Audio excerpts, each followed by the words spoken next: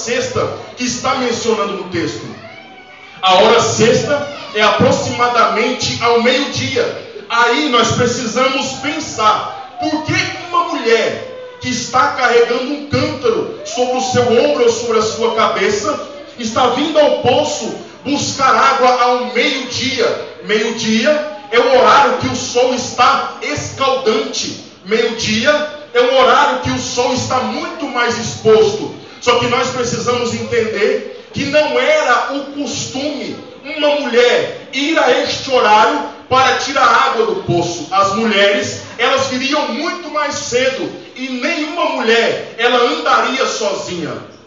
Nós precisamos entender e os irmãos vão de concordar comigo que ninguém gosta de andar sozinho. Sempre você quer ter uma companhia. Só que nós vamos entender que esta mulher está vindo em um horário improvável e sozinha. Por que, que esta mulher está vindo a este horário? Por que, que esta mulher está vindo sozinha a este poço? Esta mulher, ela está carregando um cântaro, que não é simplesmente um cântaro para buscar uma água. Este cântaro, ele representa um peso muito mais além daquele peso que ela carrega, que é uma água. Este cântaro vai representar para esta mulher que está vindo em solidão para buscar água do poço. Esse cântaro vai tra trazer um peso da sua vida pessoal. Esse cântaro vai trazer um peso da sua vida psicológica. Este cântaro vai trazer um peso da sua vida social. Esta mulher não está carregando simplesmente um cântaro que tem um peso com água. Esta mulher está carregando um peso do passado. Esta mulher está carregando o peso da tristeza. Esta mulher está carregando o peso da amargura. Esta mulher, podemos dizer, que está carregando um peso de solidão que gera uma grande depressão.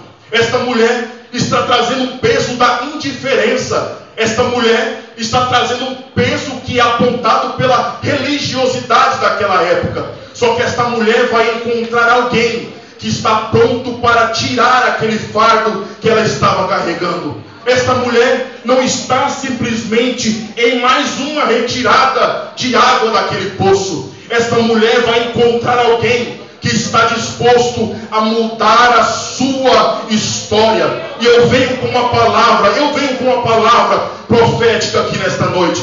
Pode ser que tenha alguém aqui, pastor Luiz Eduardo, que veio a esta casa, você é crente, você vem ao poço todos os dias, só que você está carregando um grande peso sobre os seus ombros e sobre a sua mente. Só que Deus, nesta noite, eu venho com uma palavra de libertação dentro desta casa. Nesta noite eu tenho uma palavra e eu tenho uma palavra do céu. Deus quer levantar alguém aqui dentro deste santuário para tirar o peso que você está carregando. Pode ser que você está carregando um peso familiar. Pode ser que você está carregando um peso que tem te gerado muito transtorno, muita dificuldade. Pode ser que você está carregando um peso que está te levando para uma grande depressão. Pode ser que você está carregando um peso, pode ser que seja o peso do pecado. Aí é um peso que gera uma barreira entre você e Deus, entre você e o dono da fonte, entre você e o dono do poço. Só que eu vim pregar nesta noite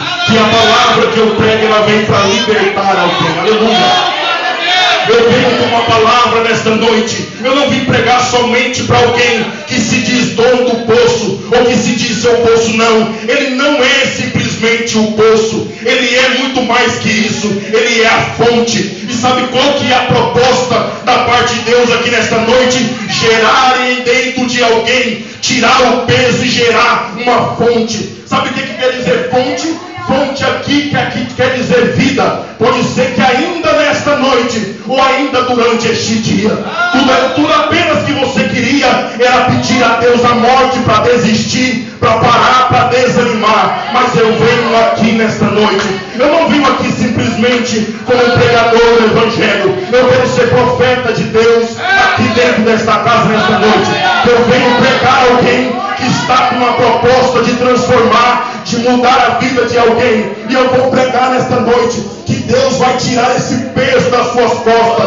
Deus vai tirar esse peso da sua mente. Você entrou dentro desta casa, eu vou pregar. Você entrou dentro desta casa, você ainda não conseguiu adorar a Deus. Você não conseguiu render um culto de adoração a Deus. Mas Deus, nesta noite, coração. Você